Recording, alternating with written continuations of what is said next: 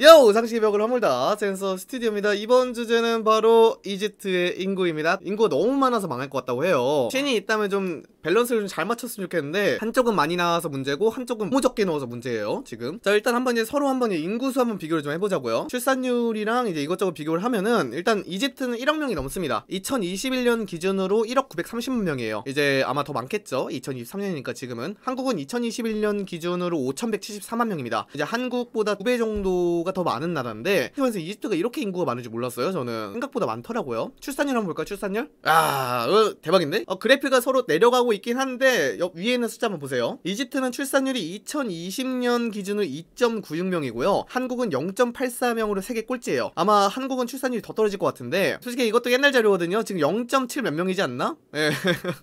진짜 이집트는 어마어마하게 낳고 있습니다 순풍순풍 낳고 있어요. 심지어 이것도 이제 떨어진 거예요. 이집트가 이제 아랍의 보험 이후로 다시 또 오르기 시작하고 있어요. 지금. 그래서 인구 피라미드를 좀 갖고 왔거든요. 인구 피라미드를 좀 갖고 왔는데 더 대박이에요. 더 대박. 아, 너무 이상적이죠? 예, 진짜 딱 피라미드형. 딱 그 정도죠. 이제 이집트의 인구는 1970년대 이래로 의료 기술이 발전하고 농업 생산량이 늘어나서 급격 인구가 늘어났어요. 1798년에 나폴레옹이 침략했던 당시에 이집트 인구가 300만 명이었거든요. 인구가 300만 명이었는데 그때 300만 명이었는데 지금 1억 명이었다는 것을 고려한다 한다면 거의 몇 년, 200년 만에 9,700만 명이 늘었어요. 9,700만 명이. 이집트 인구가 이제 짧은 시간 내에 엄청난 속도로 불어나게 됩니다. 거기다가 이제 이집트는 사막지대가 많아가지고 인간이 거주할 수 있는 토지가 한정돼 있어요. 보시면 아시겠지만 지금 이거 보시면 인구 밀도를 나타내는 지도거든요 딱 인구 밀집한 것만 봐도 나일강 위치가 어디 있는지 알 수 있을 정도예요 그래서 대부분의 인구가 비옥한 나일강 지대나 그 중에서도 카이로하고 알렉산드리아 그 정도 북쪽 지역 그 지역의 대도시에 몰려 있어요 나머지 인구들은 이제 나일강 삼각주 지역의 수에즈 은하 근처 에 살고 있는데 보시면 진짜 너무 몰려있어요 진짜 거의 지금 우리나라도 인구 밀도 때문에 문제가 크잖아요 여기는 나일강 인구 밀집 문제 때문에 엄청 크다고 해요 지금 너무 심합니다 너무 심해 그래서 이집트에서는 크게 두 가지로 나눈다고 해요. 사람들을 도시민과 농민으로 나눈다고 해요. 첫 번째 부류는 도시에서 살고 있는 도시민들이고 나머지 부류는 펠라인이라고 해요. 펠라인. 농촌에서 살고 있는 사람들을 농민 펠라인이라고 부른다고 해요. 그리고 이제 인구가 1억 명이 돌파하고 매년 인구가 200만 명씩 증가하고 있다고 합니다. 이집트의 연간 인구 성장률이 1.8%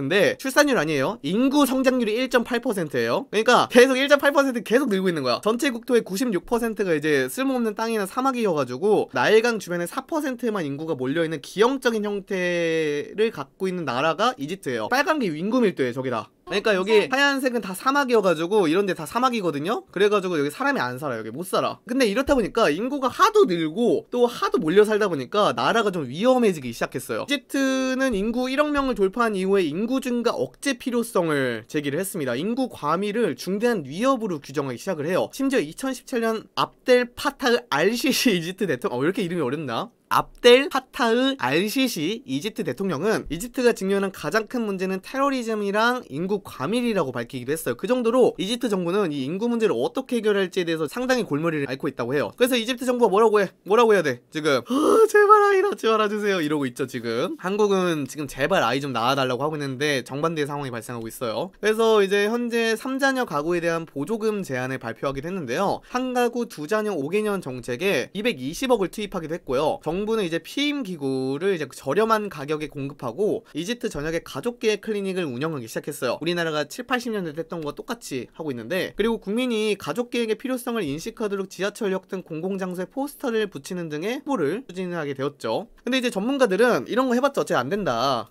예, 이런 거 해봤자 어차피 안 된다 라고 하고 있어요. 인구 증가율을 통제하기에는 한계가 있다. 이렇게 말하고 있어요. 그러니까 국민적 인식을 변화시키지 않는 한은 정책으로는 실질적인 변화를 가져오기 힘들다고 분석해요. 일단 이제 이집트의 상황을 보면은 피임을 잘 안 하려고 하고요. 빈곤 가정이나 농촌에서는 자녀가 이제 또 다른 하나의 수입원이고 노동력으로 이제 여겨지다 보니까 국민적 인식을 바꾸지 않고서는 이러한 인구 증가를 막지 못한다고 말하고 있어요. 그래서 실제로 이집트 정부가 무능해서 그런 것인지 모르겠는데 정책을 하면 할수록 계속 실패해요. 피임 기구를 나누어줘도 피임기구를 안 쓰니까 계속 아이가 생기는 거예요. 자 그렇다면 여기서 저희가 좀 의문이 들 수도 있어요. 왜 피임기구를 안 쓰냐 공짜로 주는데 세 글자 딱 말씀드릴게요.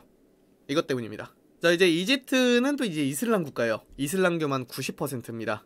엄청 많죠. 거의 국교거든요. 종교 문제가 여기에 여기에 겹치다 보니까 이게 사람들이 피임을 안 하려고 하는 거예요. 이제 막 사람들이 피임을 하면 이제 신이 주신 운명을 무시하는 것이다 막 이런 식으로 생각을 해가지고 피임도 안 하고 이제 계속 아이를 낳고 있는 거예요. 실제로 이집트는 전통하고 종교적 가르침을 엄청 중요시 여기는 나라예요. 그래가지고 다자녀를 축복이라고 이제 생각을 하고 있거든요. 강력한 산하 제한, 진짜 옛날 중국처럼 산하 제한을 실시하면 진짜 폭동이 일어나겠죠. 뭐 난리 나겠죠. 그러니까 뭐 이집트 정부가 이러지도 못하고 저러지도 못하고 그런 상황인 거예요 지금. 했으면 이제 최고 율법 해석 공표기관 바르 알 이프타라는 곳에서 하나 제한은 신의 뜻에 대한 참견이 아니다라는 말을 했겠어요. 이슬람 가장 높은 데에서 아 애들 좀 그만 나라고 이제 말을 한 거예요. 최고 율법 해석 기관도 자기들 생각하니까 좀 아닌 것 같다고 판단을 한 거죠. 하나 제한에 대한 사람들이 잘못된 종교적 해석을 하고 있다고 이제 막 그렇게 생각하고 있으니까 제발 좀 그러지 말라고 피임을 하든 말든 그게 신이랑 뭔 상관이냐고 이런 식으로 이제 해석을 한 겁니다. 그만 좀 나와라고 제발. 그렇다면 이제 또 이렇게 생각을 할 수 있어요. 인구가 많으면 좋은데 또 왜 이렇게 난리 부르스냐? 인구 많으면 좋은 거 노동력 늘어나고 뭐 SCV 계속 늘어나는 거 아니냐? 이렇게 생각하실 수 있어요. 이유가 다 있어요. 경제 성장 속도보다 인구 증가율이 너무 빠른 거예요. 경제 성장 속도가 인구 증가율을 지금 따라잡지 못하고 있어요 지금. 이건 또 이제 신박한 이유인데 전체 인구 중에 32.5%가 빈곤층이에요 이집트가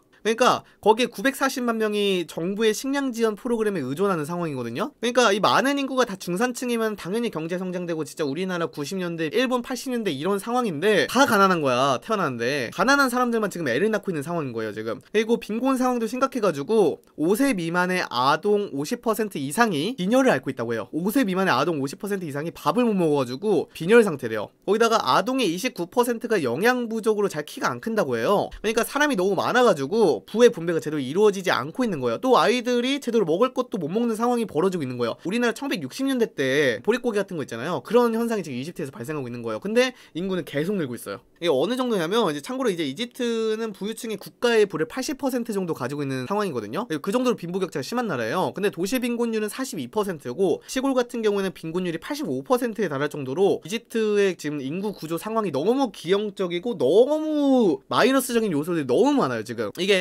출산율보다 더 높은 GDP 경제 성장률을 보여줘야 하는데 이집트의 GDP 성장률은 3.3%예요. 경제 성장도 제대로 못해요. 옛날 우리나라처럼. 참고로 이제 한국이 경제 성장을 할 때 10% 언저리였거든요. 이집트가 얼마나 지금 저성장인지 알 수 있죠. 심지어 이집트가 그렇다고 선진국이냐? 그것도 아니에요. 개발도상국입니다. 또 그렇다고 해서 괜찮은 산업이 있냐? 그것도 아니에요. 관광업으로만 의존하고 있는 상황이에요. 농업이나 이집트가 이러지도 못하고 저러지도 못하고 인구는 계속 늘고 있는 그런 상황인 거예요. 또 인구가 많으니까 중산층 인구가 늘어나는 것도 아니고 빈곤 인구가 계속 늘어나니까 들어오는 돈은 별로 없는데 빠지는 돈이 많은 거예요. 지금 복지 비용하고 보조금 지출이 정부 재정에 너무 큰 부담으로 작용하고 있는 거예요. 이집트 재무부는 2020년에 보건 분야하고 교육 분야 지출이 늘었다고 말했어요. 보건 분야는 20%로 늘고 교육 분야는 14% 늘렸거든요. 또 생필품에 대한 보조금 지출은 3.3% 증가했고 건강보험 예산은 29.3%로 증가했어요. 그래 그래 인구가 늘면 또 일하는 사람들 많고 좋지. 근데 돈이 자꾸 빠지고 있어.